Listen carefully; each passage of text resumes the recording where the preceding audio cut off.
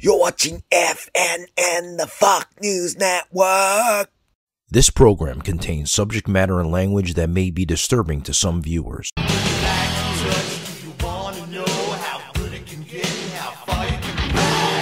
Viewer discretion is advised. You're watching the only news that matters to Malcolm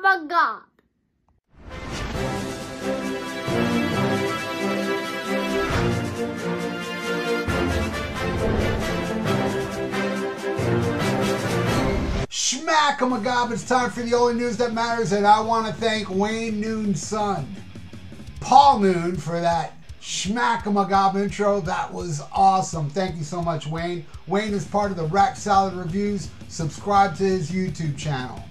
And if you want to send a Schmack a gob intro, send it to this email right there. Right there. You see it right there. Send it there, and I'll put it up in the order it was received. Thanks again, Wayne. Now let's get into the only news that matters. And starting it off with some very sad news. Monkey singer and guitarist Michael Nesmith died Friday from natural causes. He was 78 years old. So that would make him the last Monkees. Only Micky Dolenz left. Very sad news. Um, so rest in peace, Michael Nesmith, and my condolences to his family and his friends and fans. All right, next story. Dokken is entering the studio to do a new album. How's Don Dokken sounding these days?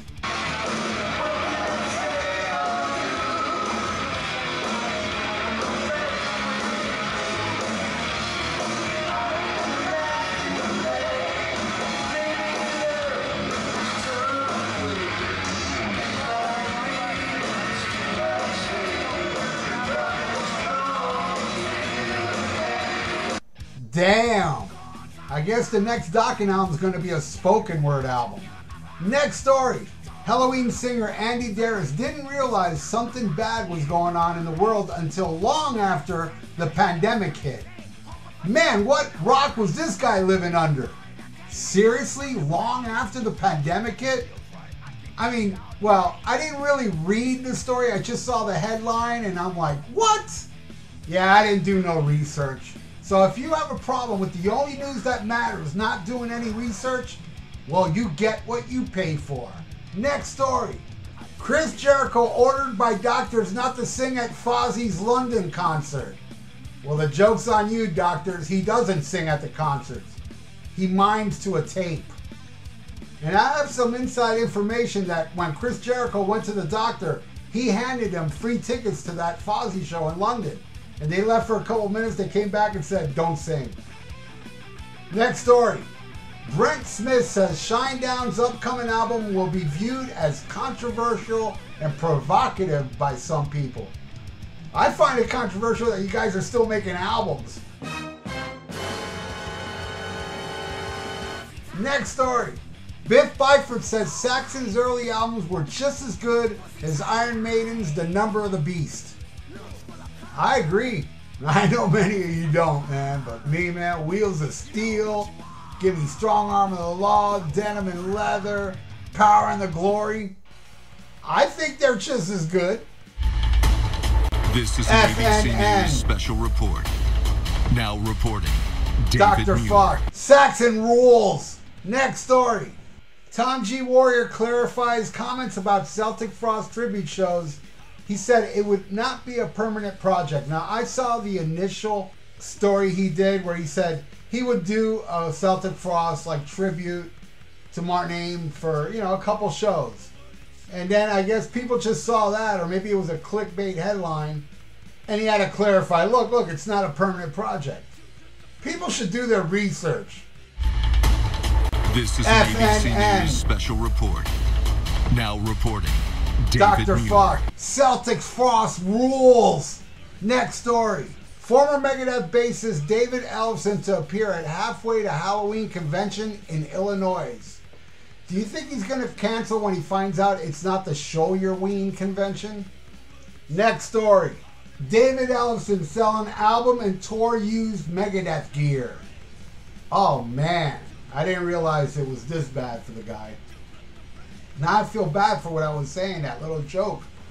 Um, very sorry, Mr. Ellefson. This is terrible. over a really stupid, Mongolic, idiotic move on his part, but I don't think he deserves all this bullshit. I feel really bad. I should edit out that show your ween convention line I put in here. Hopefully, I will remember to edit that out. Next story Bill Ward on the birth of Black Sabbath. He said, We were different. I know we'd cause a few problems. Black Sabbath rules. They rule my world.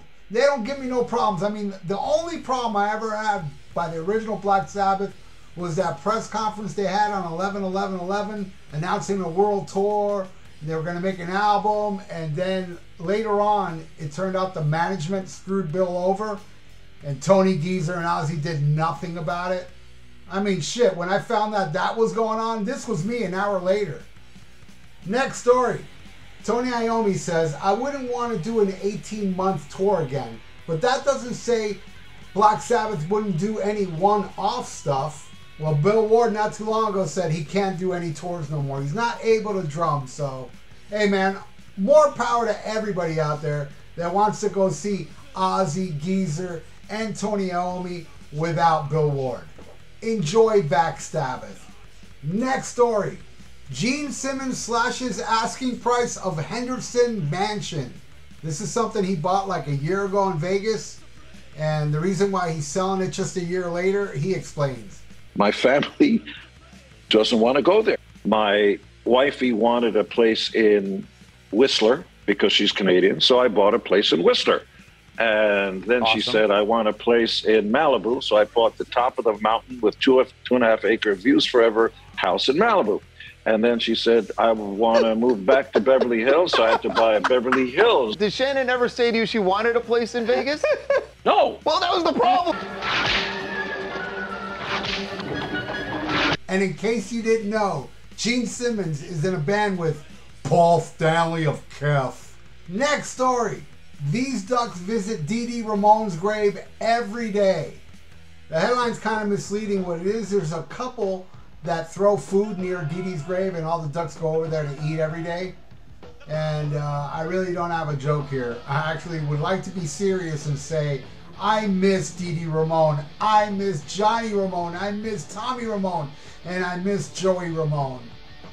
The world sucks much more without them. The Ramones rule. All right, next story. Sammy Hagar released a vacuum cleaner that he guaranteed would suck as much as he does. But some people that purchased this are complaining, saying that when they turn it on, all it does is play shitty music. One guy did come to Sammy's defense saying, Hey man, mine played Three Lock Box. That's worth more than vacuuming my dirty apartment. All right, next story. Motley Crue's Nikki Sixx says, We never intended on getting back together. Wow. Whoa, man. I, what? That is the most shocking thing I have heard in years. Nikki Sixx actually telling the truth. Of course, he's telling the truth on this very rare occasion. I said it before that Motley Crue farewell tour with that bullshit contract. He really did think Motley Crue was over back then because he was going to go on to do Sixx:A.M. Who had a hit before and he figured this is going to be my hit machine for the rest of my life. And then when he saw that didn't work out, which led him to go back on that bullshit contract he had. I mean, I'm serious. It is definitely because Sixx:A.M. didn't take off. I mean, I'm almost positive about this. All right, final story. Sixx:A.M. has no plans to record more new music or perform live again. I knew it! See? Nah, I wasn't almost sure. I was totally. See, this is why. This is the only news that matters. Do it again, I'm not doing it. One, two, Wait, wait, wait!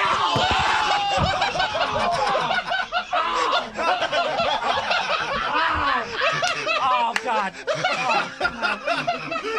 Oh, oh. oh. that was quite a kick. Well, that's it for the news, people and pickle whistlers that watch me because you love to be offended. Because. This is an ABC News special report. Now reporting, Dr. David Fuck, Muir. you suck. That's right. And check out my podcast, the Rock and Metal Combat Podcast, and the Viera Vault And if you'd like to donate, I got a PayPal in the description below. And please subscribe to my channel if you haven't, and click that little notification bell. Right on, everybody. Stay frosty. Listen to Black Sabbath and smack 'em a gob. Farewell and adieu to you fair Spanish ladies. Farewell and adieu, you ladies of Spain.